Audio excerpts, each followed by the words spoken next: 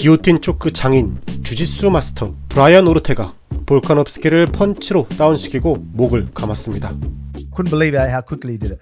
So I was trying to to give him the oxygen, and it wasn't working. And then the lights started dimming, like a movie. Honestly, it was like dimming, and I was even, I'm like "F- that. So I just like keep going. So it was never an option. His arms are gonna gas out, or I or I die. Sat there and I looked at that tape over and over again. I go, how the this man get out that choke?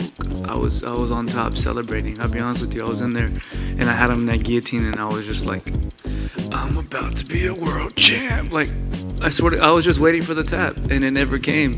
바로 이어지는 오르테가의 트라이앵글 초크도 버텨내며 살자고 하는 자는 죽을 것이고 죽으려고 하는 자는 살 것이다. 불멸의 볼카노프스키 순신. 인간 자체를 존경할 수밖에 없습니다. 힘이 빠진 오르테가 죽기 직전까지 매맞다가 끝났습니다.